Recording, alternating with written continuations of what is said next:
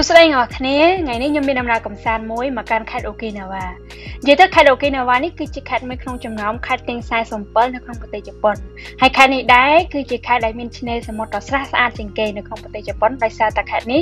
វាលក្ខណៈជាកោះទេហើយថ្ងៃនេះដែរខ្ញុំនឹងនាំអ្នកគ្នាមកកាន់ឆ្នេរសមុទ្រមួយមានឈ្មោះថា Tii no Hama ហើយឆ្នេរនេះគឺវាមានការពេញនិយមមែនទែនសម្រាប់គូស្នេហ៍ដោយសារតែនៅឆ្នេរនេះគឺមាន